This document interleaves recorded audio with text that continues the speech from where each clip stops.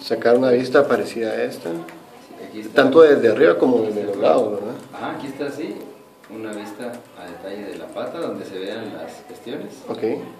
Y de arriba, pues que pudiéramos ver una sección, algo así. Un más zoom y más detalle. Ajá. Claro, bien con esto. Ok.